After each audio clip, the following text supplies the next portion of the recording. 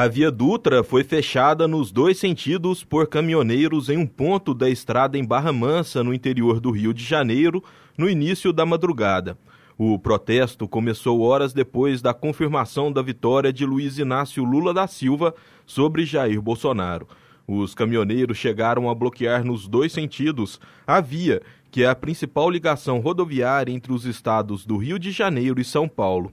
Há também interdições em ao menos 10 estados.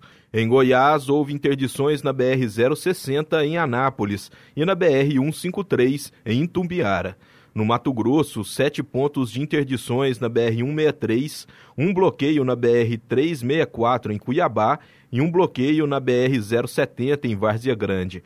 No Pará, houve bloqueio na BR-163 na região de Santarém, na Bahia, caminhoneiros protestaram no oeste do estado, em regiões próximas a Barreiras e Luiz Eduardo Magalhães, na BR-020.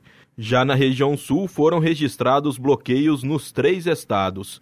No Paraná, houve interdição da PR-317 em Maringá e na BR-476 em União da Vitória.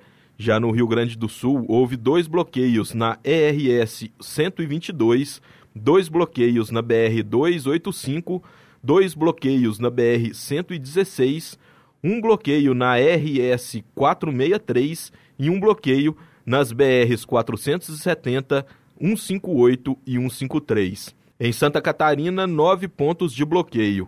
Um nas BR 101, 116 e 153 e 282, três na BR 280 e três na BR 470.